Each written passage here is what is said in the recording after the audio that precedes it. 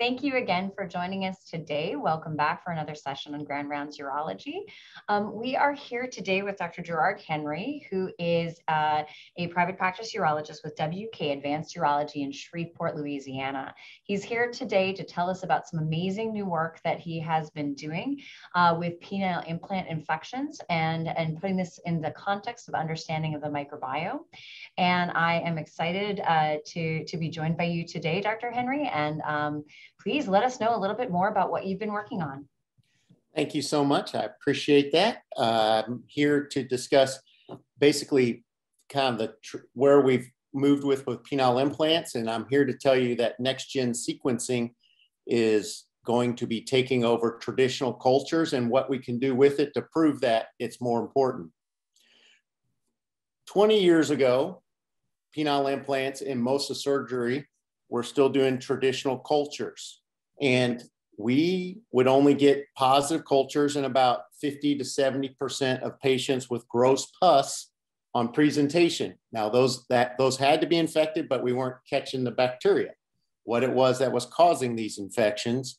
And we also thought staph epidermidis was the number one cause of infections.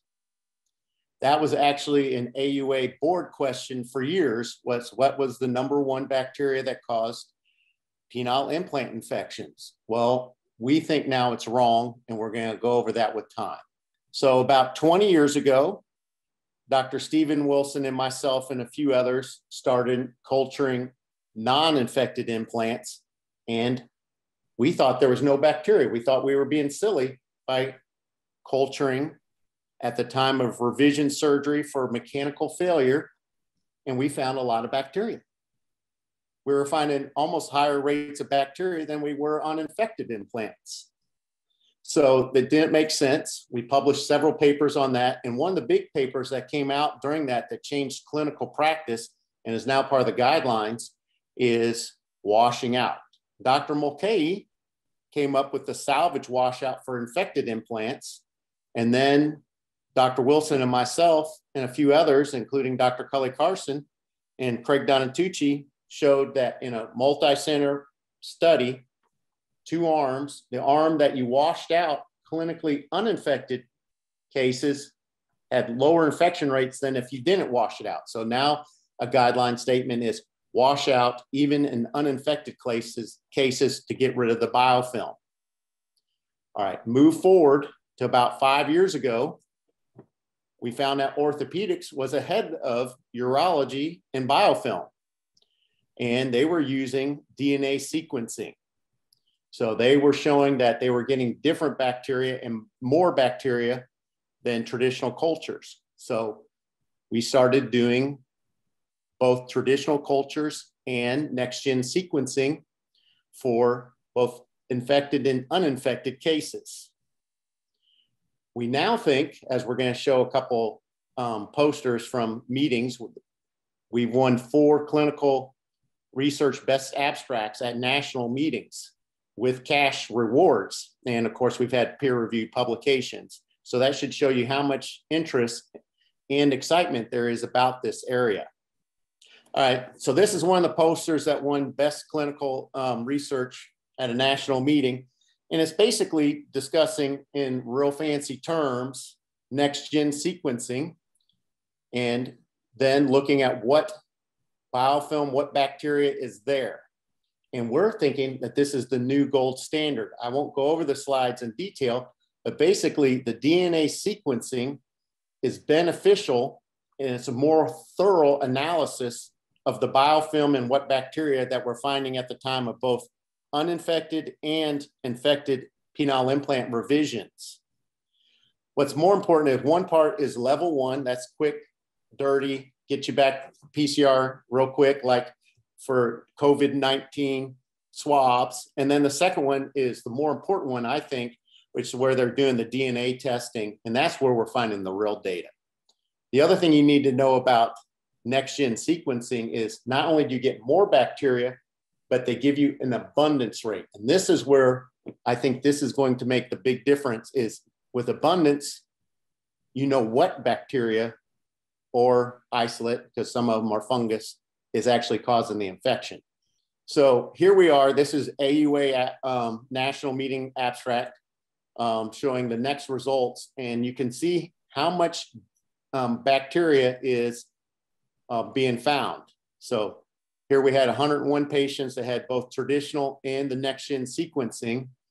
And let me tell you, next gen sequencing was more beneficial in terms of finding what isolates are there. It also gives us more sensitivity resistance.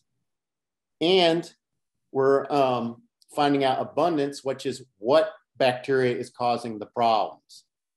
And it's not staph epi, it is gram negatives. And we just published a paper in the Journal of Sexual Medicine that went over all this data. So, what do we do? Here we have a whole bunch of new data. And what do we do with it? This has never been done before in prosthetic urology. We're actually having a prospective randomized study comparing traditional cultures versus the next gen sequencing data. So a patient shows up to your practice and they look like they have a clinically low grade infection and you do a traditional culture and you do next gen sequencing and we randomize how you treat them. All right, we already have had central IRB approval. We're planning on 19 total sites and we'd be happy to have more. Any listeners out there who are would like to be enrolled. Three academic centers have already independently approved the protocol, including Jefferson, Duke University, and Northwestern University, some real ivory tower places. And we've already enrolled our first patient. Um, and so we're just getting started. I think only about five or six total places have been approved so far, but um, we're looking to have more. So this is exciting. We're going to directly compare outcomes of traditional culture versus next gen sequencing and hopefully showing better patient care. That's wonderful. Can I ask a couple questions about the upcoming trial? Yes, ma'am. So, when you're talking about comparing outcomes, is this going to be at uh, at the time of explant giving antibiotics that are appropriately tailored, or okay, this, great yeah, question. Tell me a little bit about the outcomes. Right. Okay. So the patient you know, some patients present and they're toxic, you know, fever, elevated white count, cottage cheese looking stuff coming out of their incision. Those you just got to take out and be done with. What we're talking about is kind of the patient who shows up with um, serosanguinous drainage, uh, you know, could be a little bit yellowish, but, you know, or afebrile, normal white count, non toxic. And we've been trying to salvage them with antibiotics. So, you know, some doctors will say, if in doubt, take it out. Well, that was 20 years ago thinking. The, the new wave is, you know, maybe we can save some of these. You know, the traditional term is salvage them. So um, we're going to, one arm is going to be culture. Everybody's going to get both traditional culture and the NGS randomized to one or the other arm and then if you get the traditional culture, you just do your normal pathway, your local standard of care. If you get randomized to next gen sequencing, we'll get more data and an IR, I mean, an infectious disease doctor will make the decision on which antibiotics or antifungals that you're put on. So it's, I think it's going to show the outcomes is you're going to be able to save more of these implants, i.e., salvage them on antibiotics without having to go to surgery. So the outcome is the big number one outcome is how many implants are you saving traditional culture versus next gen sequencing. And we have some secondary endpoints. Like one of the things that orthopedics is doing much better than us is they have a, a systematic approach to patients who present to clinic, you know, tenderness, erythema, warmth, fever, eye count, um, drainage, the quality of the drainage. And currently in urology, we don't have anything like that. So they have their, I'll call them stages of clinical presentation for implants. And that's a secondary endpoint is trying to uh, kind of classify or stage clinical presentation.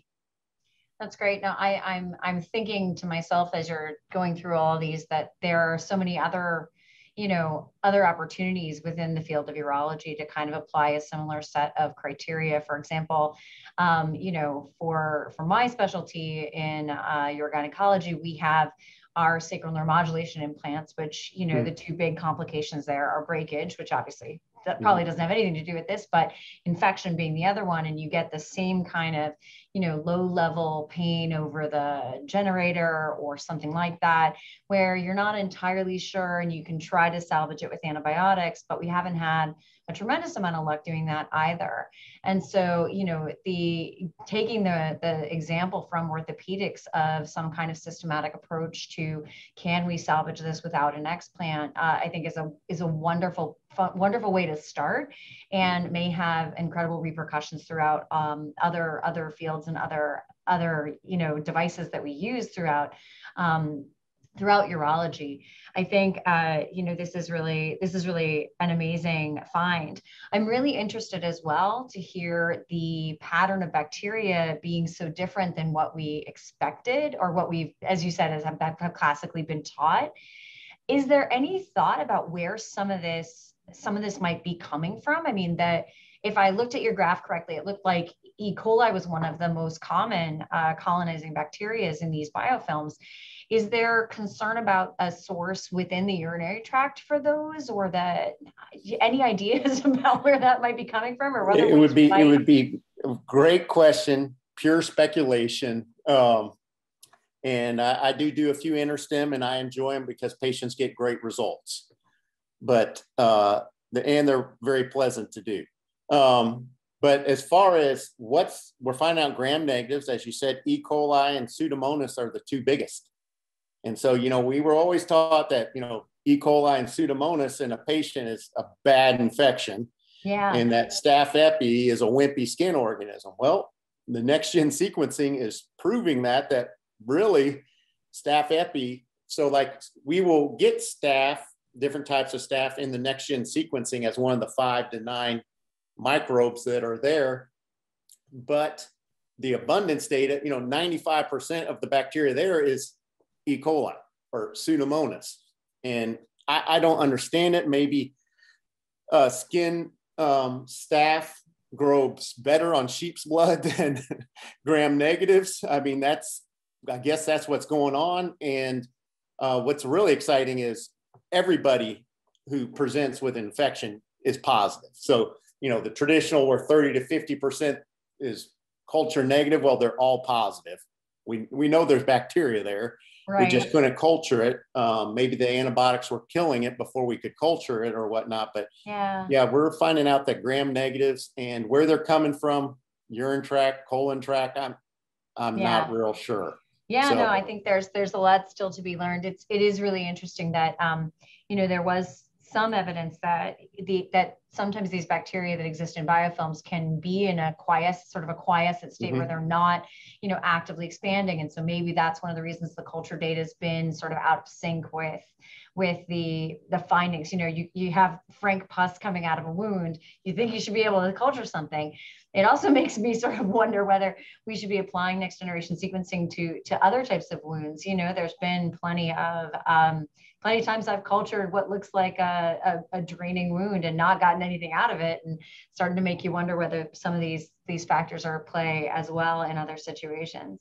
Well, well I will say it's already um, the gold standard for um, what uh, what we'll call kind of chronic wounds, like chronic open wounds that wound care is doing. Next gen sequencing is the gold standard there. So I think it will become the gold standard for uh, urology, you know, kind of one of the other exciting areas is just urinary tract infections and, you know, low grade, low amounts, whatnot.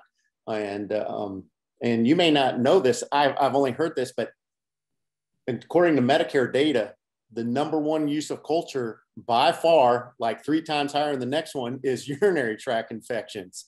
So it's it's uh, urologists and urinary tract infections are doing the most culturing by far. Yeah, so it sounds like we need to have a better a better uh, awareness and understanding of how to use this in all of our conditions as well. Uh, this was wonderful. Thank you so much for sharing this exciting data with us and good luck with the upcoming trial. I hope we'll get you back for an update when we've got some results from that. Uh, and it was a pleasure to have you with us today.